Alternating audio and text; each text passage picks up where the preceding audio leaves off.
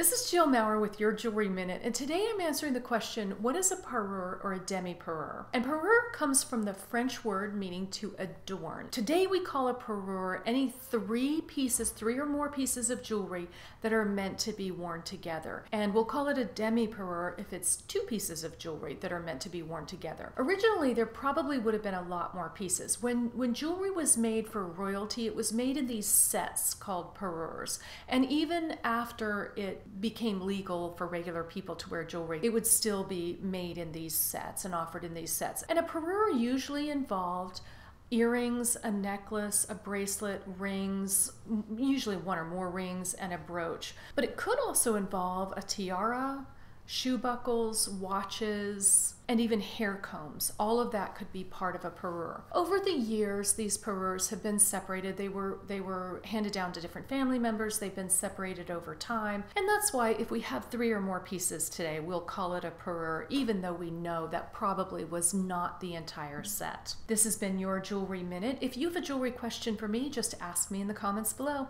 Until next time.